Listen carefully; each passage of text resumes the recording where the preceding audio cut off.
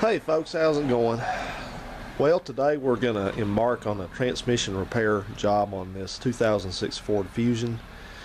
This is a four-cylinder version. It's got a Mazda four-cylinder engine in it, and it's also got a Mazda five-speed automatic transmission.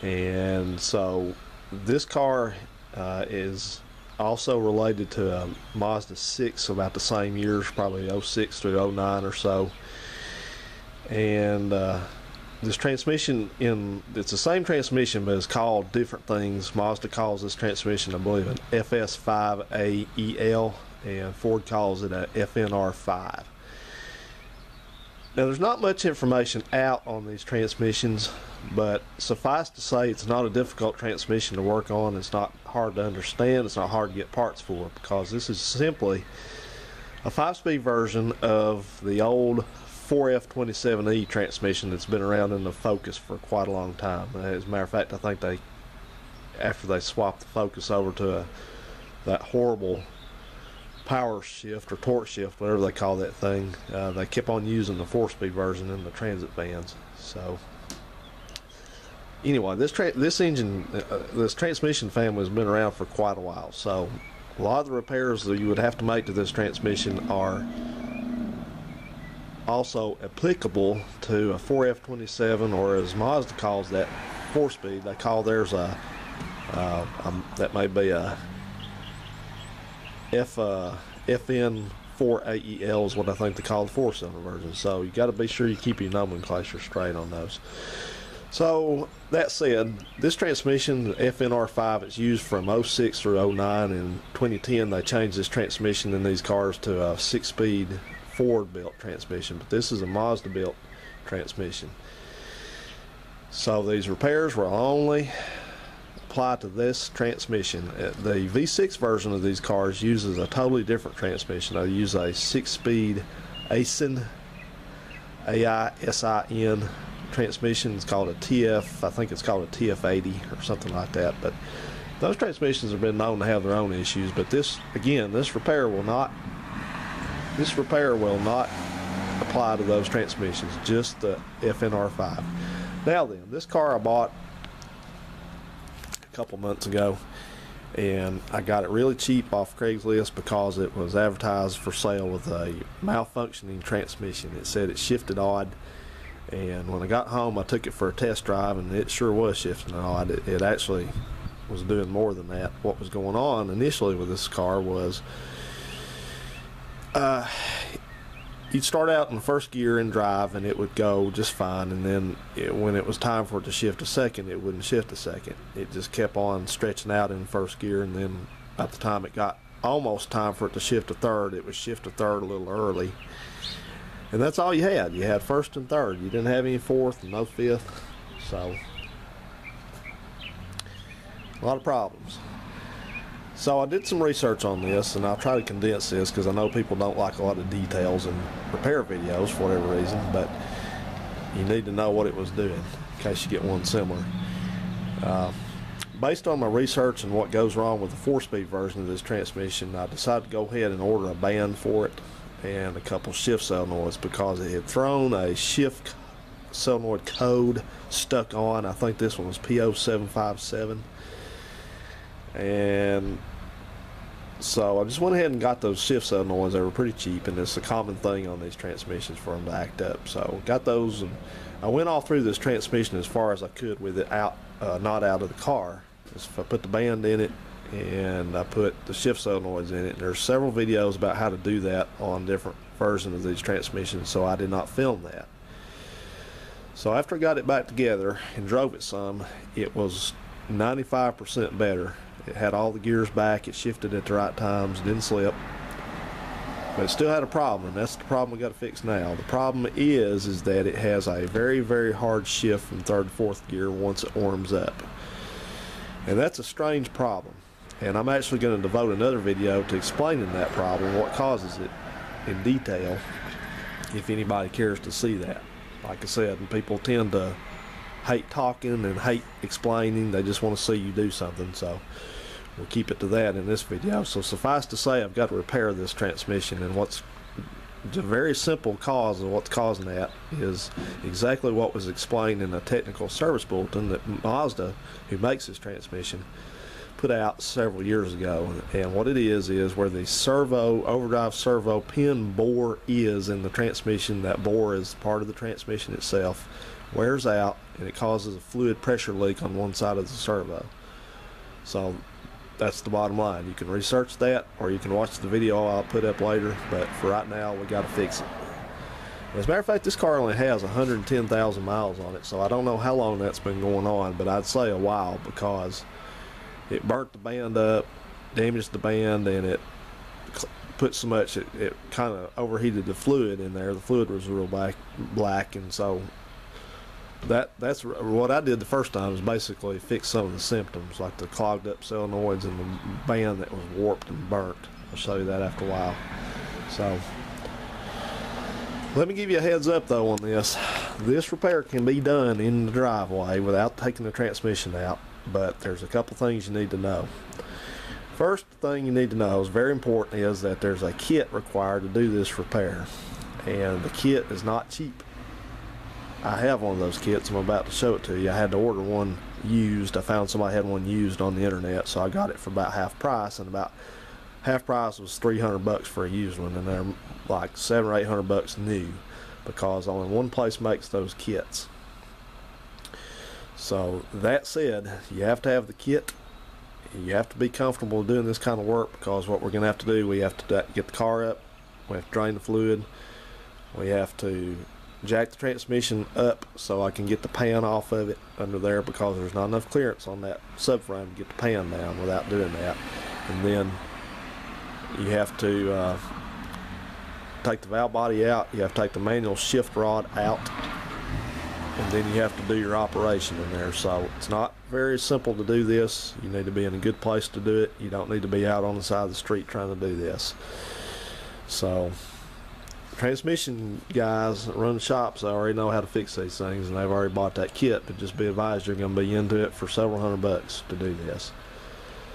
Now if you go around on the internet there's a lot of stuff about this shift shock issue and seems like nobody really knows what causes it. They don't understand what causes it but this you know, you're going to find out as much as you ever wanted to know about it. So you ever have that problem, if you ever, now this one, like I said, it only does it when it's warm. When it's cold, it shifts just fine. But when the transmission warms up, it starts doing that crap. And if you carry it into a transmission shop, they're going to know what's wrong with it. And two things are going to happen. They're going to say it's going to be two thousand to twenty five hundred dollars to uh, overhaul or replace the transmission. Number two, they will not, even if you tell them what it takes to repair it, they're probably not going to do it because they don't want to come back on that. They don't want to take the chance of doing that repair and then you bringing it back and it's still not working right. So you know, this thing, you're kind of dang if you do, dang if you don't. The, the best way to do this is be able to do this repair in your driveway and it be on you because you're talking about either a few hundred bucks or a couple thousand. Or you bail out of the car and you just get another car, but there again, you're still into several thousand dollars. You're not winning anywhere on this. Let's take a look at this kit. Now, this is what it is. This is made by Northland Automatic Transmission Service Inc. in Wisconsin. The website servoboard.com and every time I've been on that website it didn't work right. So you couldn't get a price on it or anything. So what this is, this is called the I think that's S, I guess that's an F, SF99 Servo Bore Repair System. It's called the 4F27 Master Kit. That's the one you have to have. Nobody else makes this kit. So don't bother looking at Sonnax or any other place like that. They don't have them. Because this is a, there's a patent on this. So when there's a patent on this, that means that nobody else can make it except unless they license it. It says right here, I know it says 4F27 Master Kit, but I just explained to you that this is the same basic transmission as a 4F27, just with an added gear ratio in it. If you look there, it says for Ford 4F27E, which is FN4AEL, that's Mazda's uh, nomenclature. FNR5 in the Mazda version. That's five speed, four speed, five speed. Up it up. Okay, it's got different things in it.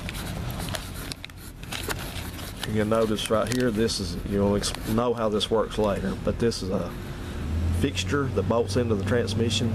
It's a guide fixture. You have a couple different size ring guides here. This is basically guides. There's a smaller one, which is a 7 16 Sorry for the noise down here. I don't know what the hell they're doing. They're always doing something down this street. Then there's a half inch. You do these in steps. You got to bore this thing out to a 7 16 then to a larger one. Then you have your two reams. And then you have a, this guy in here is a, uh, your punch, your driver. And then you've got, somewhere in here you got a, oh yeah, you got a, those are your bolts that retain that little, that plate in there. And then you have a, this is a, a sizer that, that correctly sizes these, uh, when you put these, these are your, this is the repair sleeve right here actually. And when you get these in, you have to size them so that it's the correct size precisely. That's what this is. So you'll see all this in operation, but this is the kit that you have to have. Instructions in it, everything like that. So that's what you got to have to fix this. So if you're up for it, let's get started. First thing. Two, also, you're gonna have to have, you got to drain this transmission out. And I had to put in I think I had to put in seven quarts of fluid back in it seven or eight. I don't remember exactly which because it's been a while since I did the first repair on it so you have to go to Mazda and get the correct fluid you cannot get the fluid at the parts store if you want to try some other fluid that's on you I don't suggest it because Mazda specifies a specific fluid to use in this transmission it's called Mazda M5 fluid and that does not, listen to me carefully, that does not say Mercon 5 anywhere on that bottle. It's not Mercon. You hear me? It's not Mercon. Don't put Mercon in this car. That's the wrong fluid. You're making a mistake. You're going to fuck it up. Don't put it in there. I'm about to show you here real carefully uh, which fluid you use. Okay, there you go. There's the bottle. That's a Mazda fluid. It says automatic transmission fluid type M5 there again. Let me repeat myself one more time. It's not Mercon. It's not Mercon. It never has been Mercon. Never will be Mercon. So don't use Mercon in there. I think the part number on that is actually 00 00-77-112E-01. Try that part number. That should get the right stuff for you when you go to the dealer. Now, this was on Amazon. Amazon carries this, but I just went I just went right over to the Mazda dealer across town and they had plenty of it. So it was about nine dollars and forty something cents a quart here. So be prepared. I mean this is not cheap, but I, the fluid that's in that one I'm going to reuse because I only got about 20 miles on it. So, and there again, real quickly, if you want to take the chance on putting some other type of fluid in it, like one of these uh, fluids that's supposed to be for all Asian transmissions or this or that or multi-vehicle, then you go for it. But I will not be responsible if something happens. So, I mean, there's ones that say they're compatible. I don't know. But I'm doing what Mazda says, and in this video we're using right, right fluid. And if you still want to say, oh well, he's actually talking about Mercon 5, which I'm not, and if you want to put that in, take your chances. Alright, let's get going, guys. I guess knowledge got tired of having to use uh, space on uh, Comcast wiring. They're putting in new internet cable, I guess, there. Okay, so what we got to do first is go ahead and take off the the if you still have it the splash shield that's under the engine. I took mine off and put it over here for safekeeping. It's just a series of 10 millimeter bolts. All you got to do is look at the thing, find the bolts on it, take the bolts out, take the cover off. That's all there is to it. And then what we got to do, we're going to be doing some work up top, but in the meantime, I want to go ahead and get this fluid draining out under here and here's the transmission pan. And of course like any other transmission pan it's got a series of bolts around it. But uh, the good thing about this version the 5-speed version has a drain plug in it. So you can take it out and drain it without having to take this pan off which is really super messy especially since this one, you see what I was telling you that this pan doesn't like to come off. It's not enough space to get it to come off, as I remember, just without jacking the transmission up a little bit. See, I had to bend, I actually had to bend this lip right here down. So you may want to go in and just do that. This is where one of those bolts that holds the splice shield in goes because this damn pan just wouldn't come out. Got, you got to remember you got you got a valve body and you got shift solenoids all up and down through here, so it's, it's not enough room for it. But you can get it out. I've had it out already. So anyway, what it takes to get this, get yourself a nice clean deep pan here, and uh, especially if you're going to reuse the fluid. And if you're not going to reuse the fluid, you're just going to recycle it, then it's not that big a deal. But that's what's making the noise in the background if you hear that. That was kind of dangerous. Right on under it. But anyway, here's your drain plug, and this is I just used a 3 8 uh, ratchet, and this is a it's got a look up in there. It's got a hex fitting in it. And this is a 5 16 seemed to fit it pretty good. So I'm just gonna I've already broken it loose. Just whoops, turn it the right way there.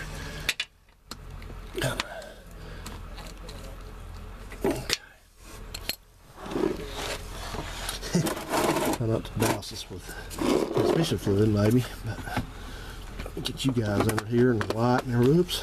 Look, my zoom button is right on the top of this this camera, probably in the worst place it could probably be. But, oh well.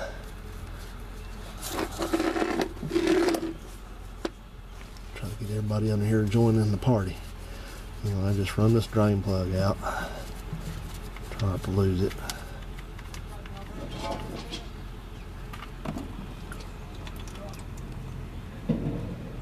That it looks pretty good, but stuff came out of it the first time looked like hell. It was as black as this transmission pan is. So, not good. Not good at all. Surprised how much this thing had wrong with it, it didn't work. We're going to try to save it because I don't have the money to rebuild a transmission right now. So there's your drain plug. Put it in a safe location. And then I'll do so now. And then what I'm going to do is I'm going to, I've got this car jacked up a little bit to facilitate being able to wedge my body underneath it. So I'm going to let it back down where it's level and let that drain. Because not all the fluid will come out of that transmission pan, unfortunately. But we want to try to drain as far as we can. And then what I'm going to do next is I'm going to disconnect the battery, negative, and then we got to take this air box out. So I'll show you that in just a bit.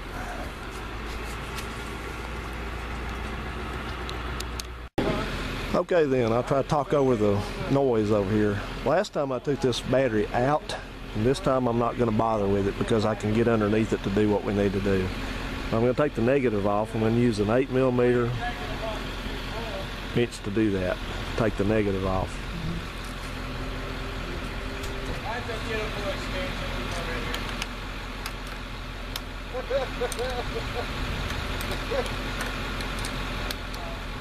start that one. Alright, you ready to pull it? No, I got to Just lock it real big. I like to lock it.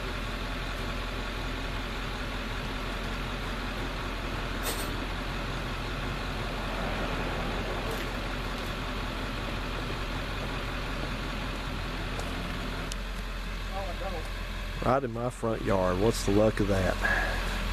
Okay, we got to take this air box out. Got a clamp here, and you got a plug there, got a hose there. There might be more. Just watch and see.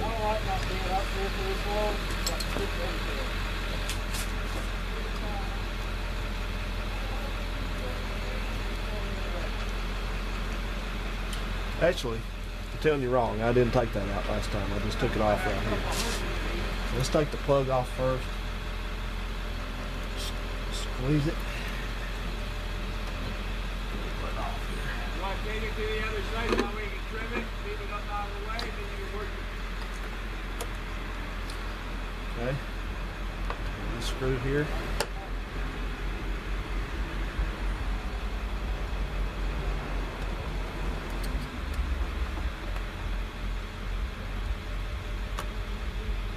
Loose.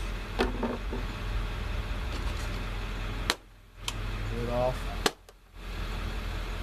I just told him go ahead and pull out power because that way you go ahead and cut this one in first. And then work your way back. That way it's not going to go back Out. there, there, and then come back to you. That's one is real. Stop off. And output goes that way. Air filter out. Now, this bottom side looks like it'd be hard to figure out how to take it out. It's not really. Just give it a good yank. Pops out.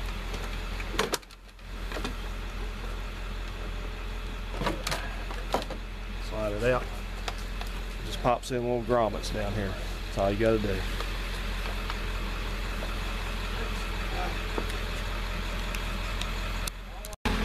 Okay then, next thing we're gonna need to do is we're gonna need to loosen our lugs up on this wheel because we're gonna jack the car up enough to get on the jack stand and then we're gonna remove that wheel because that's gonna do two things. We need to have the car up high enough to be able to work under it comfortably and we also need to have room to go in through that wheel well to access some of the bolts on the transmission pan. So let's do that now.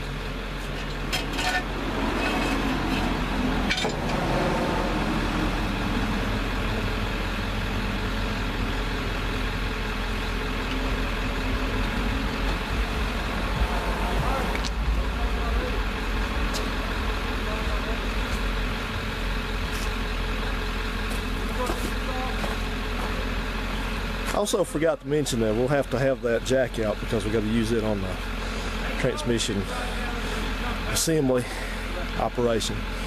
Okay, time to do something else here. Okay, next up we got to take these splice shields out.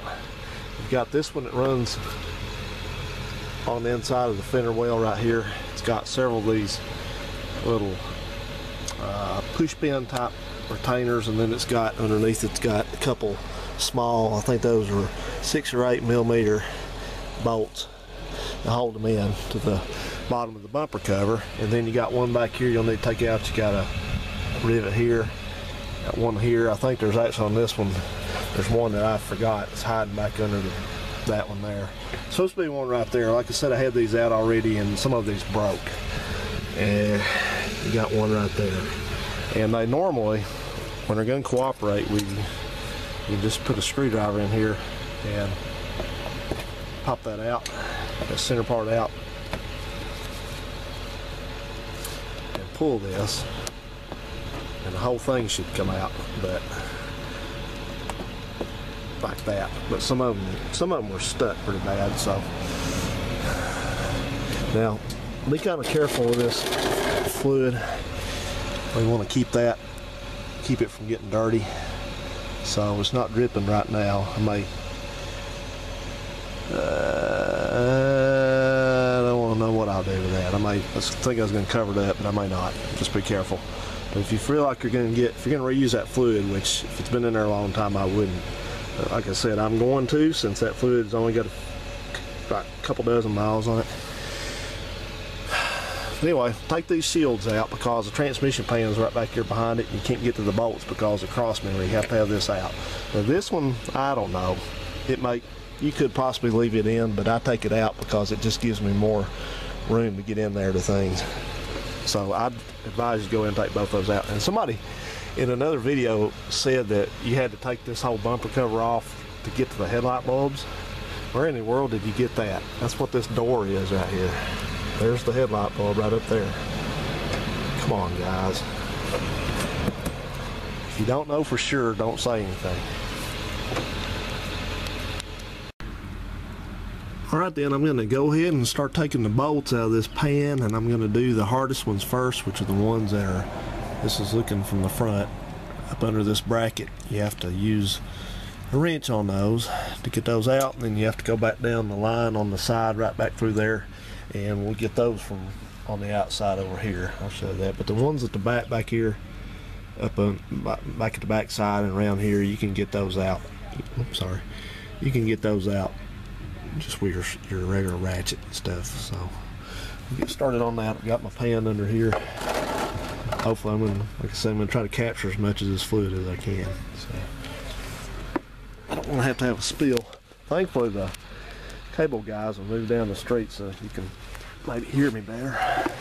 So I'm gonna do is I'm gonna just I'm not going to take all these out. I'm going to leave at least four in here, maybe one on each corner, because as you start taking these out, the pan this pan, I just put a gasket on it. I did not seal it with any kind of sealer, so it should drop free and just go ahead and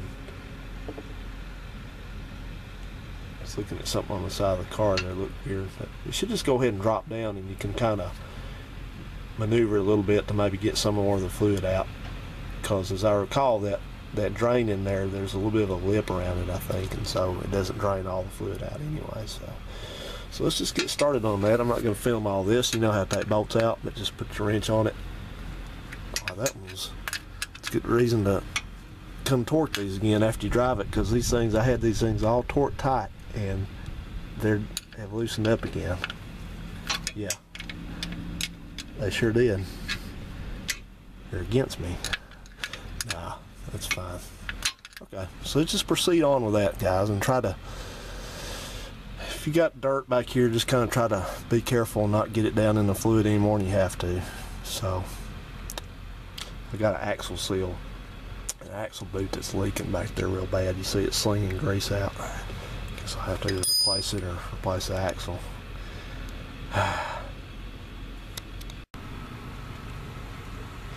okay, I've got to issue a correction. I was convinced that that transmission had to be jacked up to get the pan off, but somehow either I just didn't do it right the last time, I didn't hold my mouth right, or whatever. Got lucky this time, but it actually slipped out of there. So there it is, and I actually even saved my gasket that I just put on too. So uh, try to keep any dirt out of there. I'm going to put that in a safe location here, coming right up. But uh, anyway, that transmission pan did not have any metal in it the first time around or this time, but it's just got just a little bit of it had you know a fair amount of clutch debris in there last time and looks okay this time nothing nothing other than just a little bit it's still kind of dirty so if it works after this repair I hope it does but if it works then correctly then I'll run it maybe 500 miles and do another fluid dump in it and just go from that. Because it probably had the original fluid in it up till now. So anyway let's take a look under here if you wish. We'll see what we're up against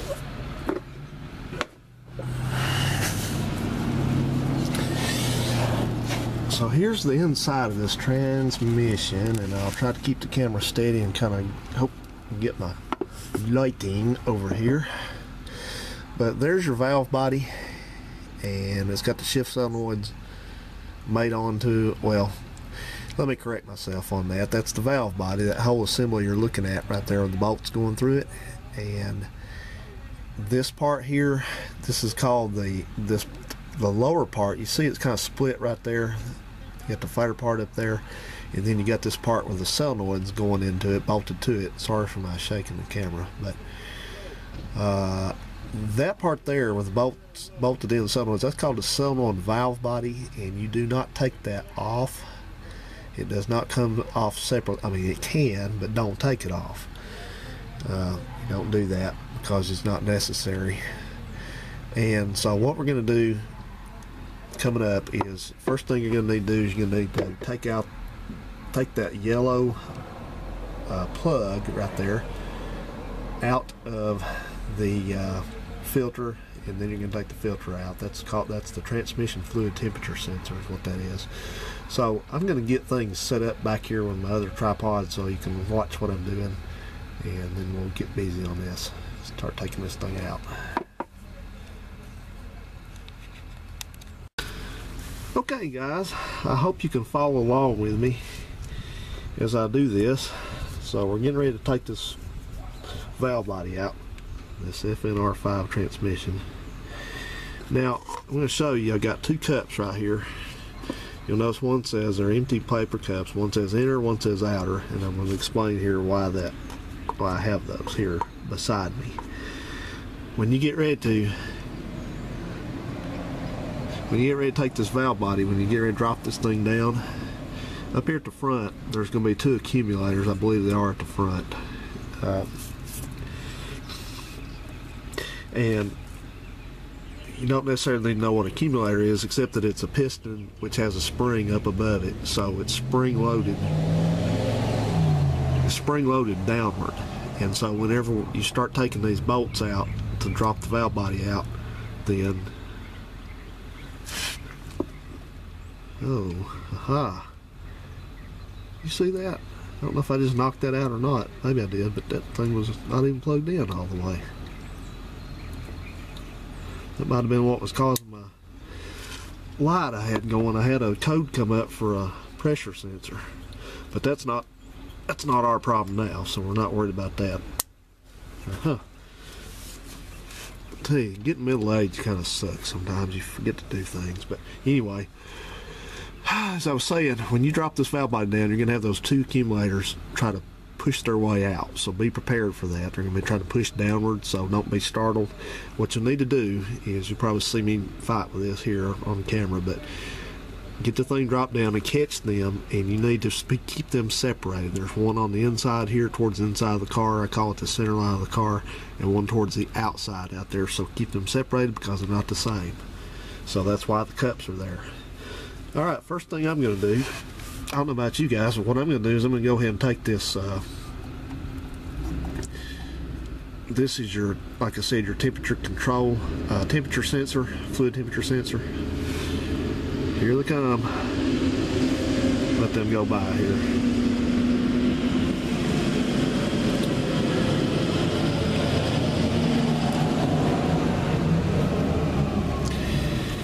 Do that, and then you're going to wiggle this filter out. I take both hands here. Alright.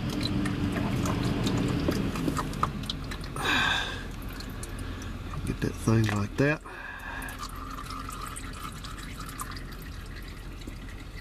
That's why you want a big drain pan. Now somebody somewhere was saying erroneously that these, car, these transmissions didn't have a replaceable filter. That's incorrect. Correctamundo, incorrectamundo. There it is right here in my hand. You see that? That's a replaceable filter, and I know that because I replaced that filter. There it is, right there. Replaceable filter. How about that? These transmissions, they don't get a lot of respect because there's not much info on them, and people think they're a whole mysterious thing here, and it's not. So let me get this out of the way. Try to jiggle the fluid out of it as much as I can. You may say that fluid looks a little dark. Well, you should have seen what was in it the first time. Like I said, it was nasty. I'll be right back.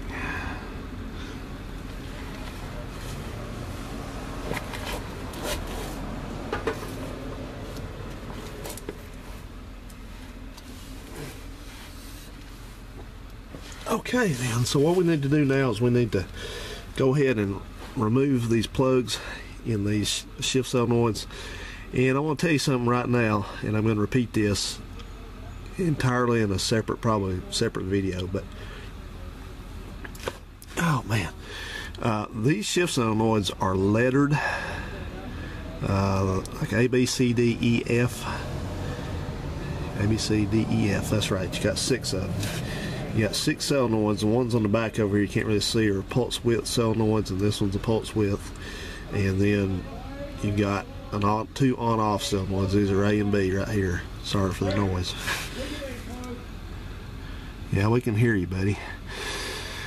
But anyway, what you need to remember, it's crucially important to remember this when you're working on one of these 4F27Es or a FNR5, which this is, is that, pay attention, that Ford, the letters, the letter designations that Ford uses on the solenoid positions are not the same as what Mazda. So A and B solenoids on the Ford are not the same as on the Mazda. Now,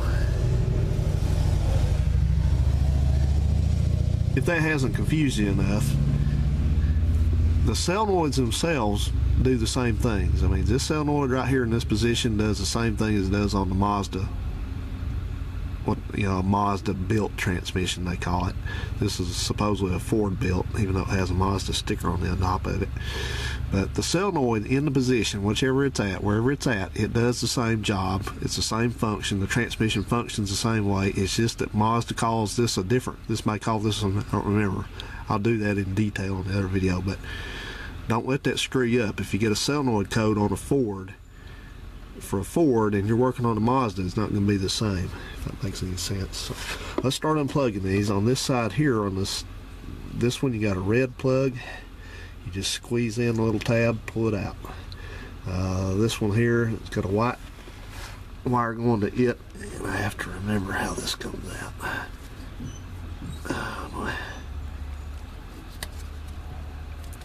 Ah, there we go. You just slip it out. It's got a little squeeze thing on it. You just squeeze and pull. And this one here has got like a little a little tab you can push up with your thumb. I was having to fight this pan on and off. I hope I hadn't had not knocked that out. That's going to be kind of embarrassing if I did. All right, the one on the the front driver side has got a red and blue wire going to it. There again, we're just gonna figure out I'm gonna have to go over there and look at it. Yeah.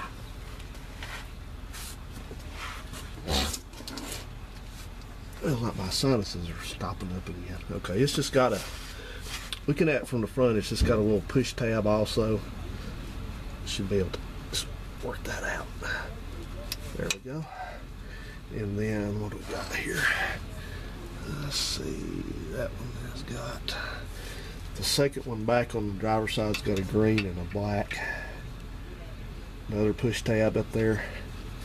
You almost do these one-handed, but it's easier to do it if you get your fingernail up in there. What I mean by push tab, I mean when you look at the plug on it, it's just got a little tang right here.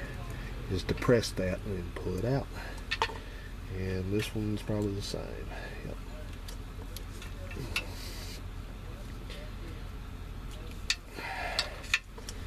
Okay then, what we got to do next?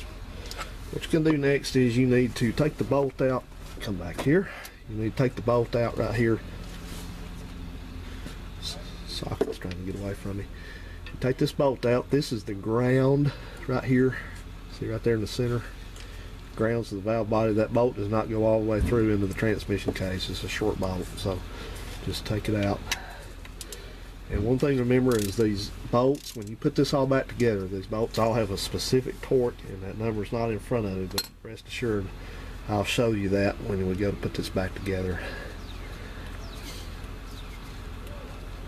Just take the bolt out there. This is why I took the battery off, because you don't want any kind of, I'm fairly certain there's no voltage supplied to this while the key is off, but you don't want to risk having an issue. Okay, so this is going to let the harness assembly just hang out kind of by itself over here, and I'll try to get it out of the way. Just be careful with it. You don't need to pull it out of the transmission case. There's a big connector. You don't have to screw that. So just kind of push that over to the side for right now. When we go back together with this, we're going to clean all this real good. So panic and think that we're not. So, okay, so you've got next thing I'm going to take out is do not take the solenoids out. There's no need to do that. What you're going to do is you're going to take these two bolts out first. This ones I take out. I think, if I remember correctly, that these are long bolts. So only two long bolts in here. I think all the rest of these bolts the same length, so you don't have to be paranoid about trying to put them back in a certain order. I'm talking about all these down through here. Because believe me, I'm a person that's paranoid about doing stuff like that. And so if I tell you you don't have to do it, you know for sure you don't have to worry about it. Yeah, that's a long bolt. I know I'm just dumping these on the pavement right here, but like I said, we're going to clean all these bolts again, even though I just cleaned these like a couple dozen miles ago. But you cannot be too clean working on a transmission. So, anyway, so from here on out, it's just going to be a matter of taking all, you just go around the perimeter and start loosening these bolts up. You've got, let me get over here and show you. I'm just going to kind of point at it because I don't want to mess up where my camera's at. But you got one back up here, one there. You got one back there, one there, one there, there, there, there, there, there, there, there, and I think that's it. I think these two long bolts serve the purpose of holding this up here. So I'm going to go ahead and start uh, loosening all these bolts out, and I'll probably take them all out except for some on the corner, so I can let some fluid drip out. And then when I get ready to fight that out with those uh, accumulators, I'll turn the camera back on so you can watch that.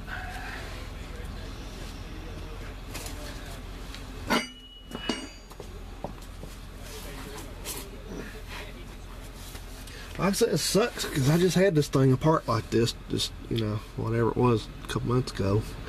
If I'd known that problem was happening, I could have fixed this then, but I didn't know that problem was happening because I didn't have first, I didn't have second and fourth and fifth gear. So, oh well. So, anyway, take the bolts out, leave like leave one back here, leave one up here. Um, that should do it. You know, this thing will, this thing's kind of a slippery snake to deal with. It kind of tries to tip tip around and get out of control. So try not to let it get away and fall in the thing here. so, okay, I will see you in just a second. All right then, you guys ready to begin the battle? Got all the bolts out except for two of them.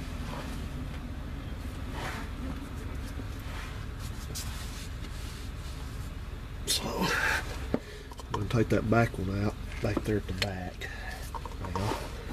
What I did is I, when I was taking this loose, I just loosened all of them some because you don't really want to, uh, at least me personally, I don't feel like you should, leave some bolts tight while you're taking all the rest of them out. I just try to get all the pressure off the thing first, if that makes any sense. And I want to recommend to you that if oh excuse me looking under make sure I don't miss one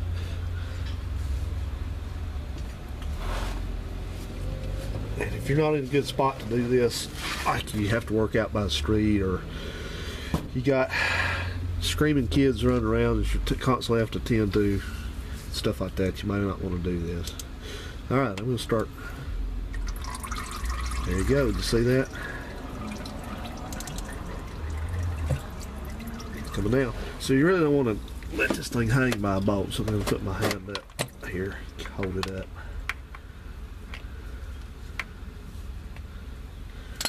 Doing go ahead and taking this bolt out if I can. Ah, you bastard! You're not going to turn my hand, are you? It's always the last one. I always know you're It's you against them, so. not really. Oh, wow. Yeah, I remember this now. This thing's a pain in the ass. Because it's got, this valve has now got spring pressure on it since I'm taking the bolts out of it. So you're about to see exactly what I'm talking about. I'm probably going to get transmission fluid come pouring out and all this. And what's even more fun to do, all right, last bolt is putting this all back together. All right.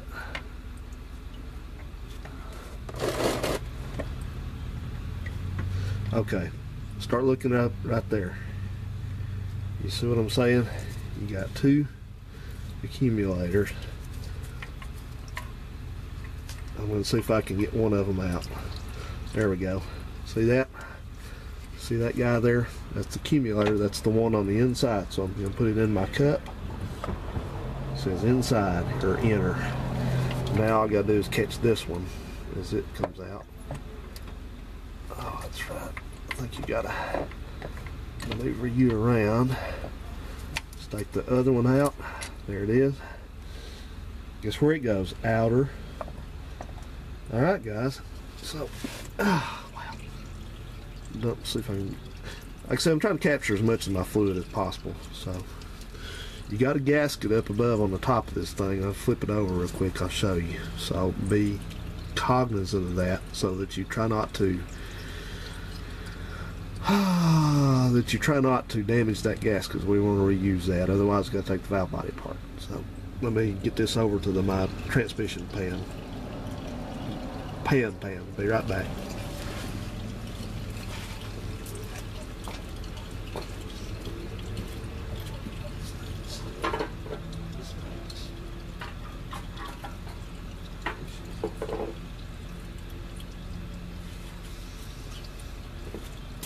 Don't worry, I'm coming back.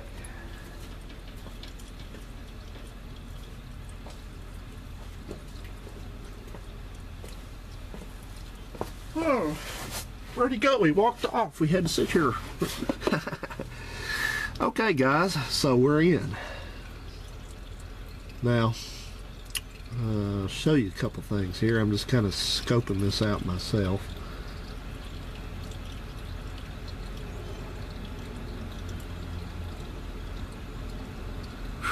Gonna be tight, tight.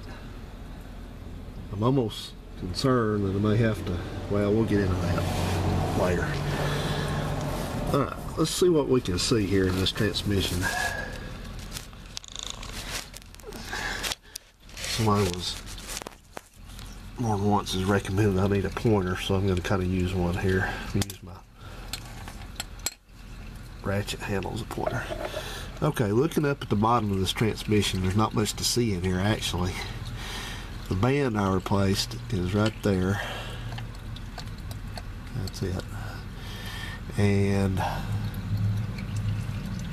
you just got some drilled passages in here that conduct the fluid to different features of the transmission.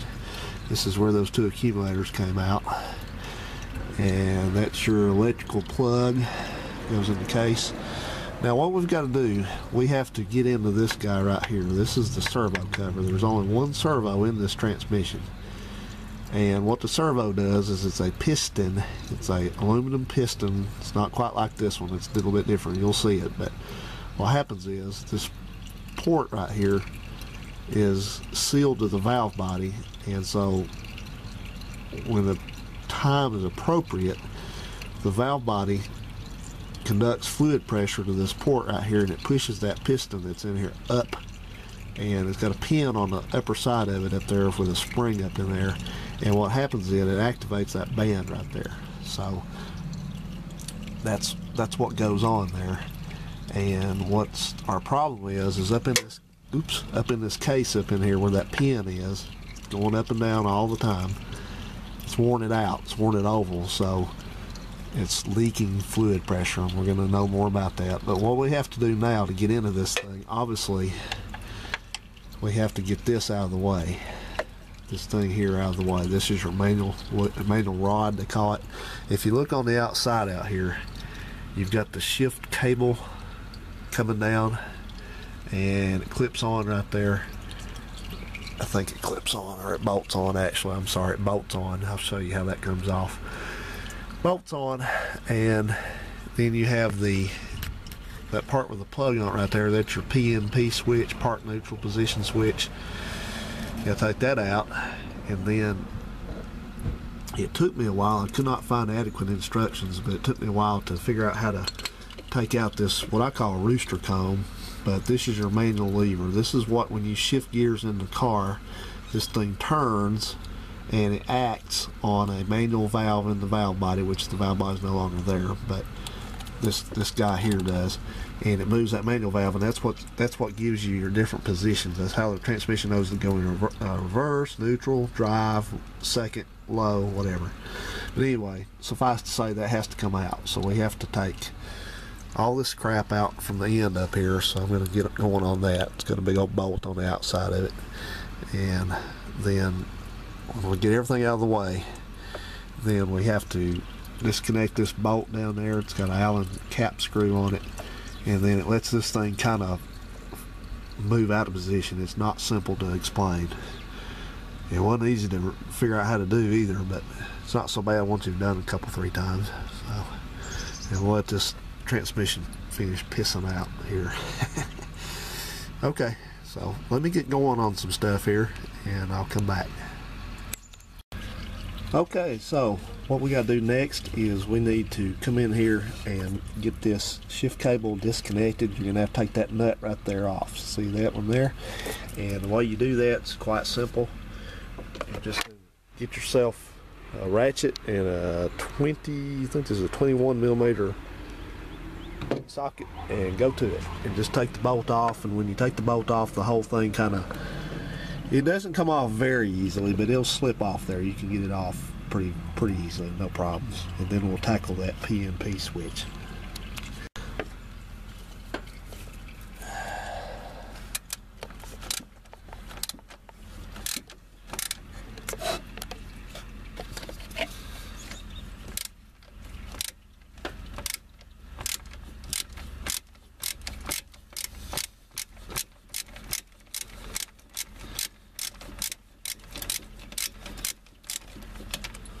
Now you a few lines and stuff around in there. Transmission cooler lines. Be be kind of careful with those because you don't want to rupture them or something else bad happen. This thing's loose enough. I can just take the nut off of my hand here. You got a nut and a lock washer, which they look like that when you take them off. So let me see. Okay, we got it. There you go. You see that? And I got confused when I go went to put that thing back on last time. I was trying to put it on backwards or something, but it's keyed, which means that that was hard to see. But you see that thing right there? I just took ah, I just took that off of. It's got a flat on it, so it only goes on one way. If you try to put it on upside down, it won't fit. So now what we're going to do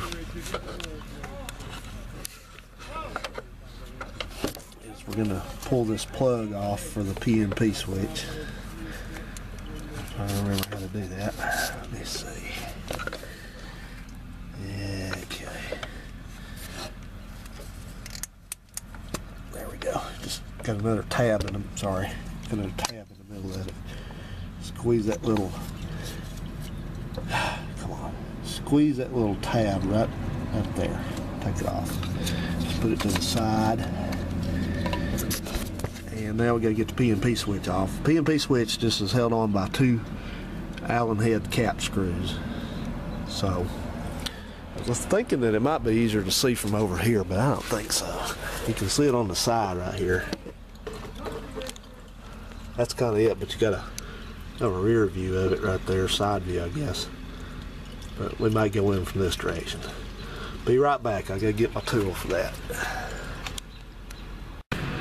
Well, it's on towards five o'clock and looks like the cable replacement guys are headed to the Ponderosa for the day. That's what you've heard running all afternoon. so anyway, we got to get on here and get this PNP switch taken off. I'll say that again in case you didn't hear me. We got to get in here and get this PNP switch right down there taken off. So it's not hard to do. All we're going to do is we're going to equip ourselves with a ratchet and a what's this one? This is a, uh, it's Pittsburgh, we know that much. This is a 5 millimeter. It says 5 on it. It does not say MM, but it says 5. 5 millimeter. That thing. Allen, Allen bit. And we're going to take those two bolts out. There's one right run down daylight and camera battery. You ain't gonna cooperate, are you? One right there, and one back over on the opposite side right there. Righty tighty, lefty loosey, take them out. That thing generally only goes in one direction. You don't have to worry about getting it back in the wrong way. So let's go ahead and take that thing out, and then we've got to go back under the bottom and deal with some worse stuff. that thing's still peeing transmission fluid out. I don't know where it comes from. Somewhere up in the bowels of the transmission. It's an endless source of transmission fluid. So, all right then. So I've got the PNP switch off. I've got the that uh, shift cable off. So you understand now why that all has come off because it's on the end of this big ass damn rod here. So I've broken this cap screw loose back here. I'm gonna go ahead and thumb this thing out. And like I said, there's a few things going on right here that I'm not sure that I can really explain that well, but if what I suggest you do is you take a good look at this thing before you start taking it apart so you have an understanding of what it is it does and how it has to go back together. It's not something difficult, but one thing before I take that all the way out, let me go ahead and do a little bit of explanation. When you look at this comb right here, you're going to notice that there's a you got this part here, then this comb has like a little track made into it, and it's there's this piece has got a this thing here that's got the little I got my finger on has got a little ah, guide pin of a thing that's supposed to fit into that. So when this thing rotates, this comb here rotates, that this follows that contour, that guide there, so it moves this thing back and forth, this thing here. You got this, you got this. Alright, if you look further at this, you see a couple other things going on. Number two, number number three, whatever. There, right up here, there's a little roller, a spring-loaded little roller assembly that follows along these ratchets right here, and that's what when you move the gear shift, that's what causes it to go boom, boom, boom, boom. So make sure this is back in place. It doesn't come out, but it can be kind of misaligned or whatever if you're not careful. And then the next thing is you got the Park Pawl. That's not the name Paul. It's just called P-A-W-L. The park lock assembly has got a rod that goes in right up here, and you take a good good look at this and you kind of you'll start coming to you how all this works together. So this all has to do 100% with the manual operation, like gears, like clunk, clunk, clunk, clunk. So you know it has to go back in the right way, and it's not hard to do. It's not hard to do, but just take a look at it and stare at it, study on it till you figure it out. So, cause I think this thing we're going to look at it here, but I think this thing's kind of it doesn't exactly fall out here. You have to kind of maneuver it out. Alright, so it rotates on this See, it's kind of stuck into the back of the case here. Keeps it located. So I think one of the first things I did was I had to pull this whole thing. There we go. Whole thing's in drop down. Alright, so what I want to do is, it's not let me see how that comes out right there. If it comes out,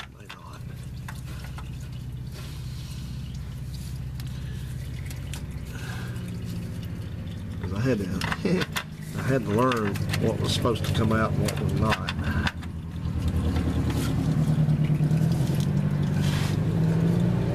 And that Carter is terrible. Let's see here. Let me think. Let me think.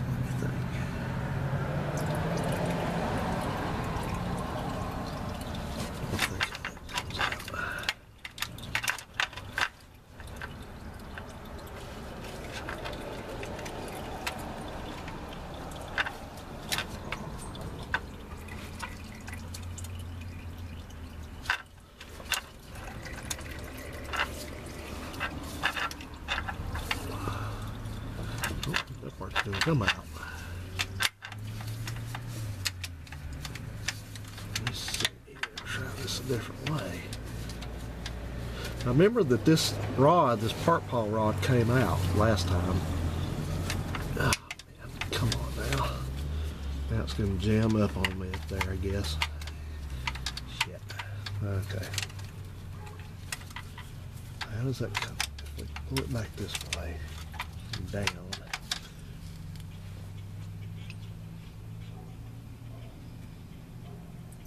Oh, okay. Wait a minute. Gotta see something here. Nope, you still don't want to cooperate, do you? Yeah.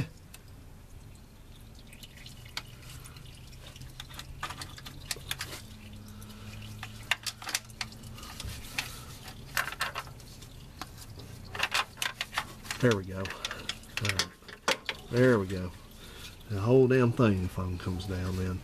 And then what it has to do, it has to go all the way over here. That ain't gonna work. Go.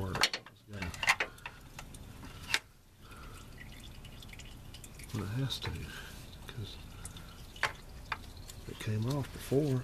How's it gonna do it this time?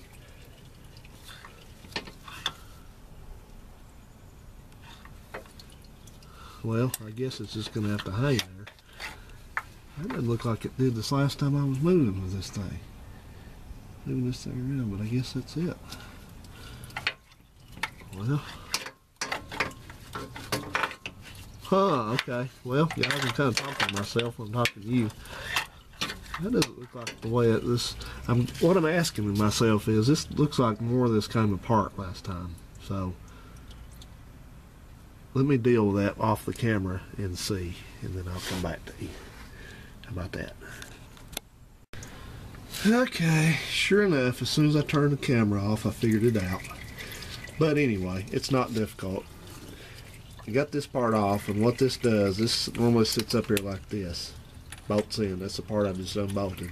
And then this part here slides off the end of this shaft right there. So that gives you much more room to get to this overdrive deal. So let's put this over in the rec- receiving area.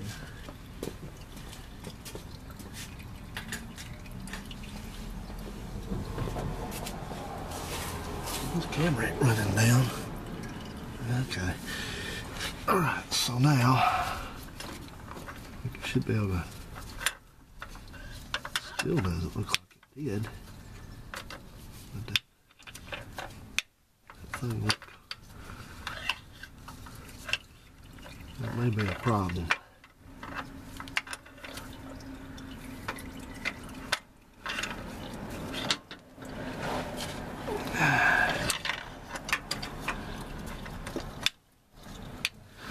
See if I, I think I was able to get this out last time or did something, do something with it. No, I wasn't. I was not. So, see, this thing, it's got a roll pin in it, and it should actually be able to come right off, but it's jammed up somehow. It's not turning the way I want it to, because see what I'm dealing with. I've gotta have clearance to that cover right there. And I mean, I can get the cover off, but the problem is I have to be able to get my guide cover back on here. And I'm not sure I'm gonna be able to do that, that like that. So I have to use force on this thing. That may have been what I did last time. Kind of parked it. I think I was able to park it somehow. Damn, damn, damn. Wait a minute.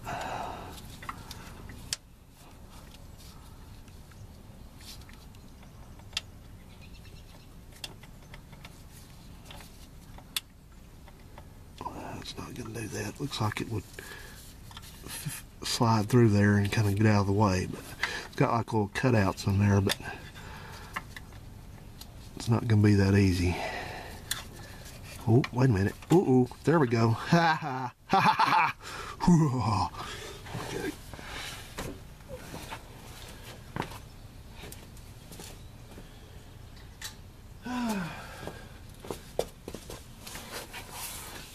This is what I ran into last time with this thing. Glad that worked like that, but you just gotta kind of.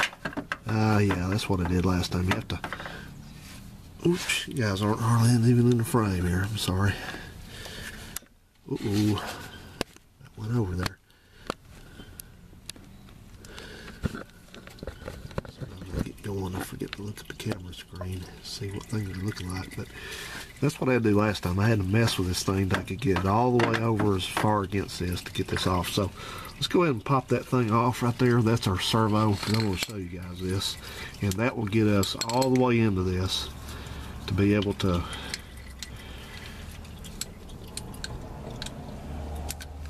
uh, do our surgery.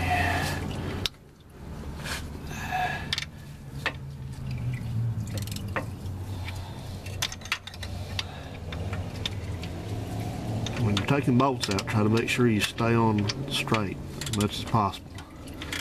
These are not torqued very they're not torqued very tight or anything. Plus, like I said, they've already been out, but they weren't tight anyway to begin with. I'm not going to do the repair today because it's getting close to dark and it's supposed to rain tomorrow, so I want to let this thing go ahead and pee anyway for a while.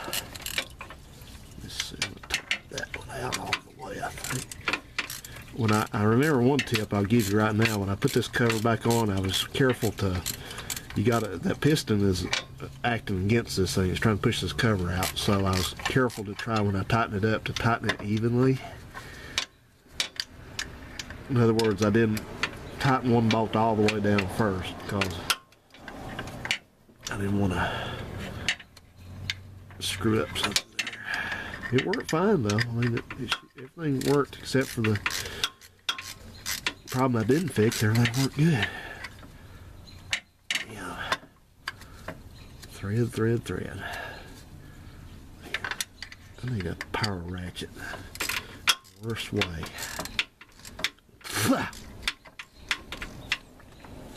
Just slung transmission fluid in my face. Come on. Come out. Just come out. Just come out. Just give it up. I'm just going to keep on doing this until you're all the way out. It's one of those that always says, no, I'm not going to let you thread it out by hand. Look. Look. Right in the face, man. It's dripping down out of the transmission and then I'm catching it with a ratchet.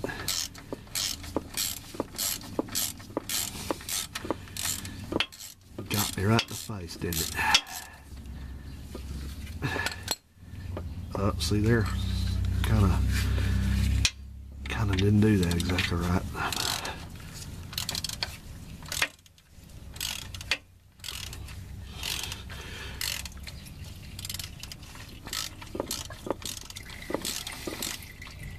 see, I'm still doing it.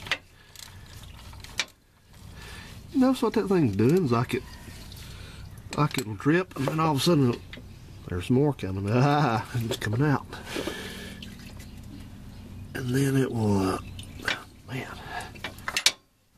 the thing's got some spring pressure under it.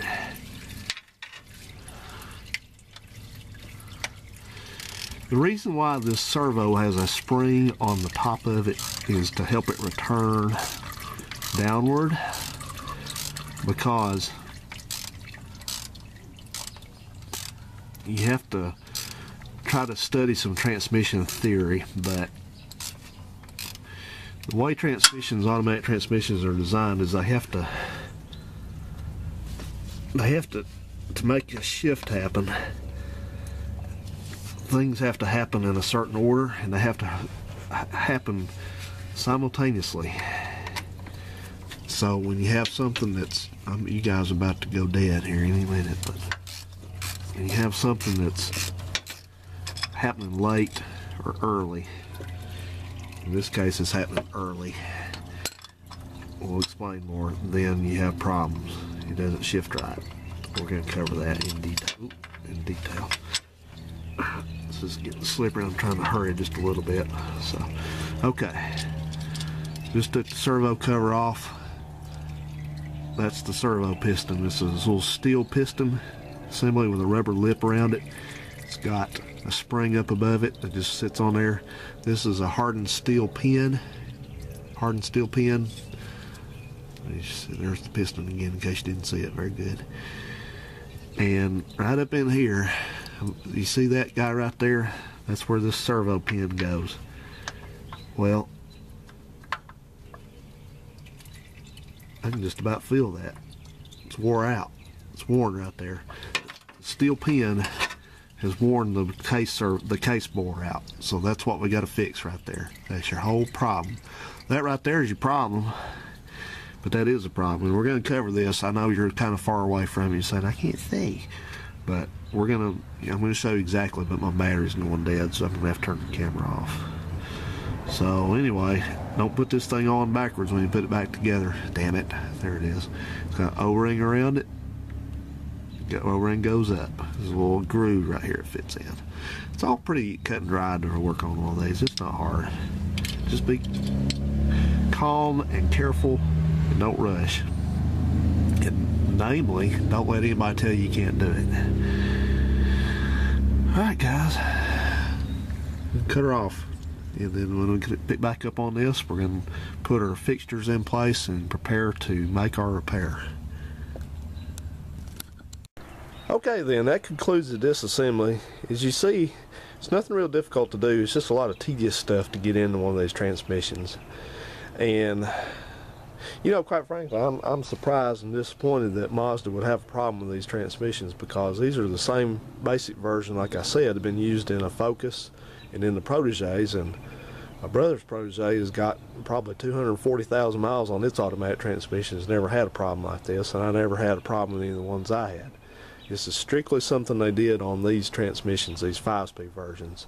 If you look at the 5-speed version externally compared to the 4-speed version in the Protege, there's not much really any difference on the outside of them. It's very similar. They just managed to add a fifth ratio to it. So, anyway, though, and you know, people, just briefly, people, you know, Ford Ford's known to have transmission problems, but this this whole car is basically a Mazda 6. It's got a whole Mazda 6 engine and transmission. So there again, I'm shocked at that that they would have this. But people may say, well, why don't you just instead of rebuilding the transmission, put another used one in it? Well, you can do that, except that the used ones may have the same problem this one had, unless you fix it beforehand, like you know, use the kit and stuff.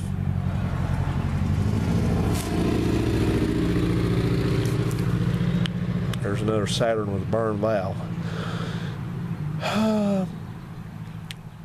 so, you know, you're still going to have to deal with this problem one way or another. They did not issue that technical service bulletin until like very late in 08, I think it was, or maybe early 09.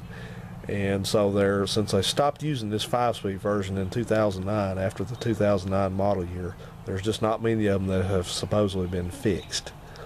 And Mazda, their only fix for this was they didn't do this job. What they did, they said if it had this problem, they said just replace the transmission. So, you know, there again, that's just basically a Mazda screw up. And really, who it is is Mazda doesn't. This is not a Mazda design. This is Jatco. Jatco designed this transmission and engineered it. So Jatco, that's Japanese Automatic Transmission Company, and they generally have a pretty good record. So that's like I said, that's disappointing. And but they have now they have dropped the bomb a couple times, dropped the ball a couple times. They